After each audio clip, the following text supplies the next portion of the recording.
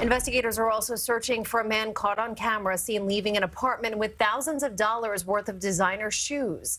It happened back on July 4th at an apartment on West 174th Street in the Morris Heights section of the Bronx.